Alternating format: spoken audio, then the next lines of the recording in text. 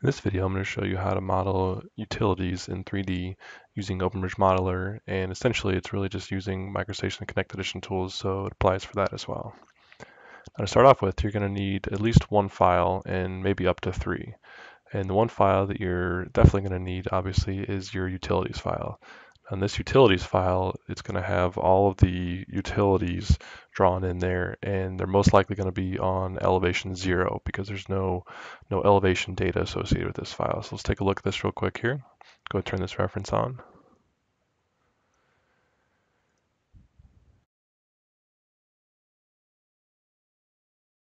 As you can see here, all of the information in this file is flat, and we're going to go ahead and look at the front view just to show you this. And if you want to check to make sure where what the elevations are on some of these, you can just tentative snap to a point. You can see elevation zero. So this is good in terms of the XY coordinates, but in terms of elevation wise, it's not accurate. Now this utility file is going to be a bare minimum what you need to do this kind of modeling. A lot of times we also have some survey of the utilities. In this case, we have it here. And this is going to be some ground shots where they located the utility. So this is going to have that missing piece of information that we had from the previous file, which is the, the z coordinate or the elevation. And these elevations are going to be surface elevations in my case here. So it's a existing ground shot right over where they located the utility. So we're going to turn off our, our 2D utility file here and turn on the survey file, and we'll show you what that looks like. So now if I go in here and rotate, you're going to see that this actually has that, that missing component, that elevation component here. Now it's not all perfectly flat, and this is where they're taking the shots along the utility, along the existing ground. And to see it really well, we can just go into a front view. Now you see it's not a flat line, so this actually has that, that elevation associated with it. And again, this is going to be uh, existing ground surface where they located the utility. So you still have to go down the depth of wherever the whatever whatever the cover is that they uh, surveyors identified for each utility.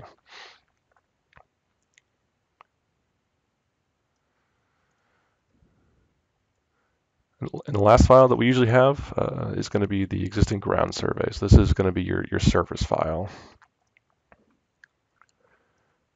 So this is just your normal normal surface file here. Uh, in this case, it was a lot bigger than this, and I clipped it down to just the project area.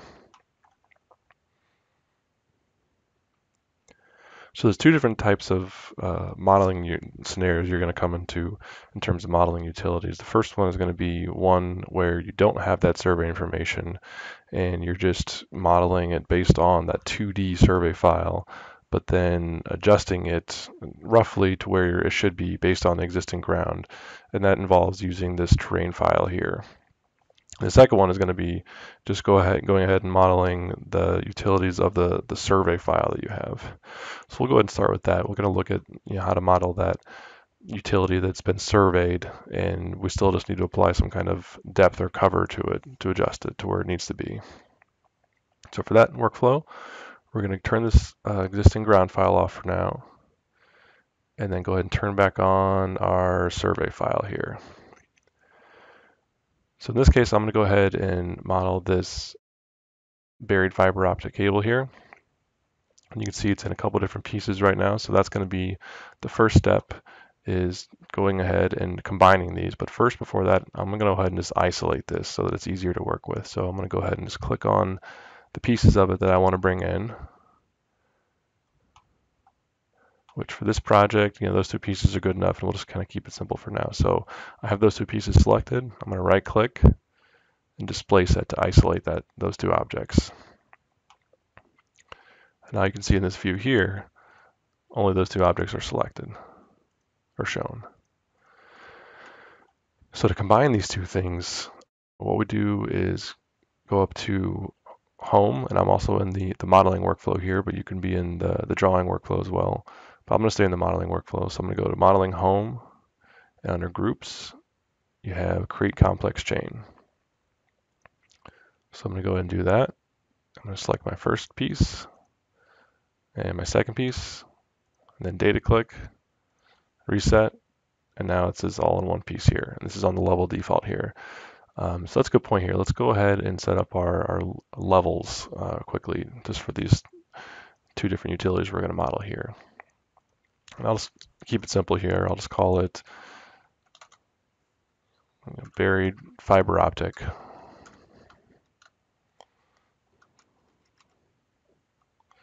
Put a zero in front of it to keep it on the top of the list here, just for ease of use. Go ahead and call it uh, number five, two, and these are just settings that anyone can can play around with to whatever the whatever they need it to be.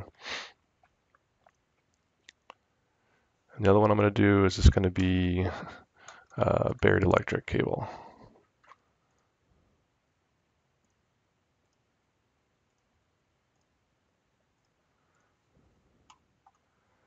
So I'm going to go ahead and activate my buried fiber optic level. Now one thing to mention is that when you use this uh, create complex chain command to combine those two pieces, you are combining two pieces of a reference file. And that doesn't do anything to your reference file, but it does create that complex chain element here in your design file. So to show you that, we're going to go ahead and clear the display set. And then we'll go ahead and bring our reference window back over and turn off that reference. So now you can see just the piece of the survey that we brought in and we created that complex chain from. So that just, again, that just created a, took the elements in the reference file, combined them and put them here in your, your native design file here. All right, so at this point, we're going to go ahead and uh, put our profile on the end of our, our line here and loft it along line segment here. So in order to do this, the first thing you're going to want to do is realign your, your ACS to the beginning or the end of your, your survey line here. So I'm going to go ahead and zoom in on the very beginning here until I get a, a straight piece of the segment. And then I'm going to go to drawing aids, define ACS, and define ACS by element. So you can see here as I am snapping to points on this element, it's going to go ahead and snap itself to where it needs to be to align itself with this element. And if I go to this next element, it's going to go ahead and shift now to be aligned with this element. Because this is a different uh, segment of the line. You can see how it kind of switches right here. So I'm going to go ahead and click on the end of this segment here because this is where I want it to be. Now with our ACS there, we're just going to go back to home and click on the circle tool here. And I know that this particular utility is a 36 inch diameter pipe.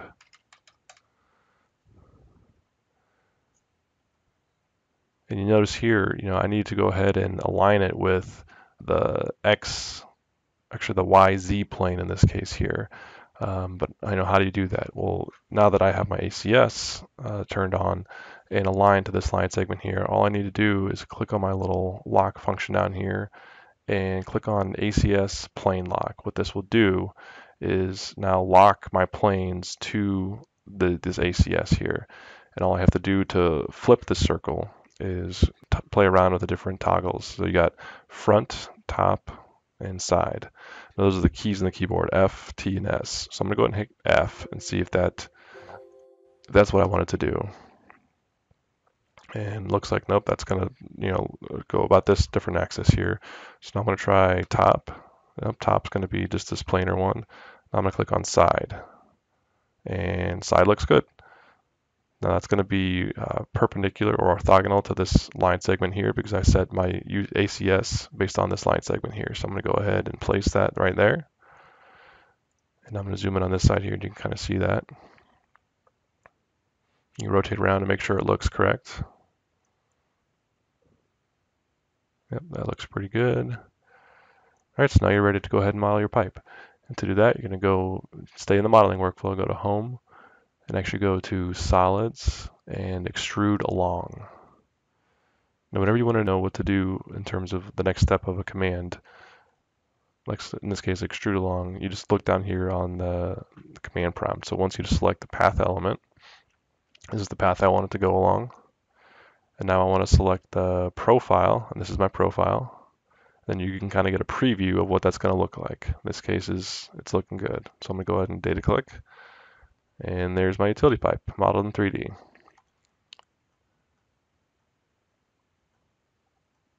If you want to look at it in a different type of view, like a more uh, realistic view, you can look at it uh, in this view. Let's take a peek at it and make sure it looks good. Yeah, it looks nice. So again, now you have a nice 3D utility pipe mapped based on the survey that, that you were given. Now, the one thing about this though, is this survey was at the ground, remember? So this would actually be at the ground level. So we need to adjust that to whatever the, the cover was that the surveyor determined in the survey. So we're going to turn back on our survey file here and see if there, that cover information is listed in there, and it usually is. So we'll kind of zoom in down here. And here is the information on that. So this is a 36 inch pipe and the, the cover that they got in this shot here was seven feet. And then over here, which is actually more of the area of interest that we're, we're looking at, you know, their cover uh, for this one was about 5.6 feet. So we'll go ahead and adjust this uh, 5.6 feet because this is more of the area of the project here. This is, this is the area of concern. So we're going to go ahead and turn off that survey file, switch to a front view,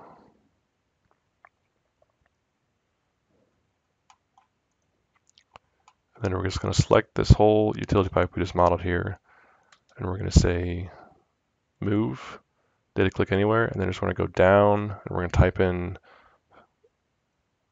5.6 feet.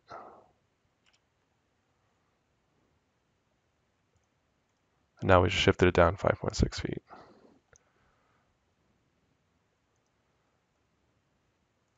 Turn on that survey file again. Make sure that was it. Yep, 5.6 feet, so that should be good. Now we can do a check real quick by turning on our existing ground and looking back in that uh, more realistic 3D model surface file. Let's check to see if this seems realistic in terms of where that utility is located at based on the ground line, and it does. Looks like it's located in the right spot.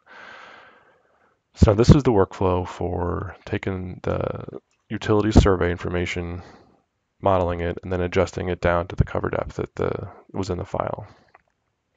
The next workflow we're going to go over is, you know, what if you don't have that survey file? What if you just have your utility file, which is that 2D file without any kind of elevation associated with it? So we're going to go ahead and turn off our existing ground file for now. And we're going to turn on our utility file that we have. Uh, the utility that we don't have any survey for information we're going to look at here in this case is going to be this uh, the sanitary line up here. So it's going to be kind of similar in what we do. You know, we're going to look, oh, turn on the reference here, and the first thing we're going to do is go to the level we want to put on, put this on. Actually, I said the Buried Electric, so we'll just go ahead and use that level for now. And create complex chain. You're going to click these one by one at a time after you click that tool. Data click. And now it's there. So I'm going to go ahead and turn that utility file off. And now this is native geometry in my design file here, and it's a complex chain. So the process is going to be the same as it was for uh, doing this one here. So we're just going to go ahead and go to drawing aids, define our ACS by element, and we'll just start down here since this is an easy spot. Go and click on this segment. Now my ACS is aligned with this segment here.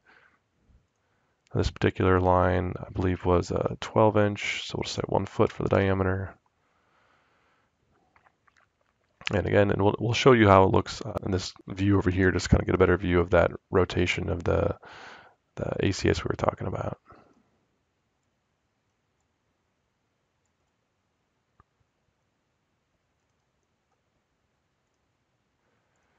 Uh, one thing you can notice here too is that ACS that got moved here didn't get moved here. So that's view specific.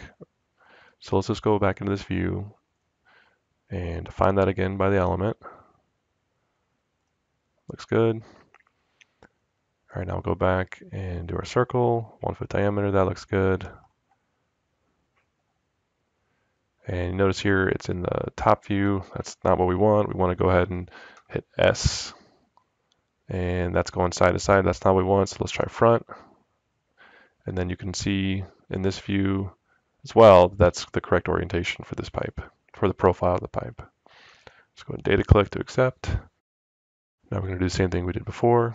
Go to solids, extrude along, select the path, select the element, and data click. And now you have this water main modeled in 3D here. So the problem with this one is though, again, if we go ahead and reset our ACSs to get the global coordinates correct. Go ahead and reset it here as well. So now when I data click on this center of this pipe here, you can see elevation zero. So that's again, that's because that line work and that utility file we got didn't have any elevation information associated with it.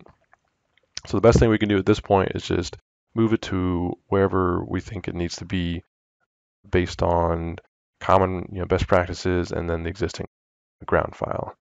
So in this case, you know, I talked to the, the roadway guys, the utility coordinator, and they said, you know, that's probably going to be three foot down from the, the surface. So what we need to do is go ahead and turn on that existing ground. And again, the area that I'm interested in is going to be this area right around here because this is to, one of my one of my piers is going to be. So I'm just going to start data clicking around here, and I'll use the the nearest one, just so I can snap on to points on the surface here. So I'm just going to start tentative clicking and seeing what these elevations are. So I got 112, 111, 112, 111. So 111, 112 is a pretty pretty common number here. So let's go ahead and just bring it up to about uh, 111. And to get to do that, we're just going to change this view to front. We're going to go ahead and select it.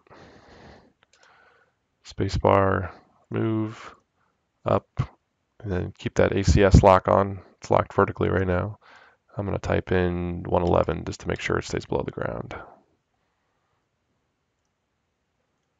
All right, so now that's moved up 111 feet and it's still selected. So I'm going to, again, spacebar move and I'm going to bring it down three feet because I think it's going to be three foot down from that surface in that area. And now your utility is located. This is going to be you know rough. It's going to be best guess, but uh, it's what the best we can do with the information that we have in this particular case. So we can kind of take a look and see how we did in that 3D view here. And I don't see anything sticking up out of the ground, so I think we made a pretty good educated guess. So let's just take a peek underneath here and see where that utility is at. That looks pretty good. That's not, uh, no, nothing's poking out of the surface and it's you know, roughly where, where we think it needs to be.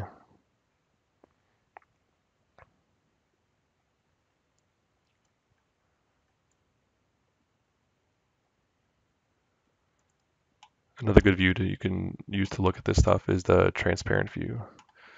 So to do that, you can just go over here to the visualization and do transparent. And I usually like modeling to keep that gray background. So now you can kind of see where those utilities are located at through your existing surface.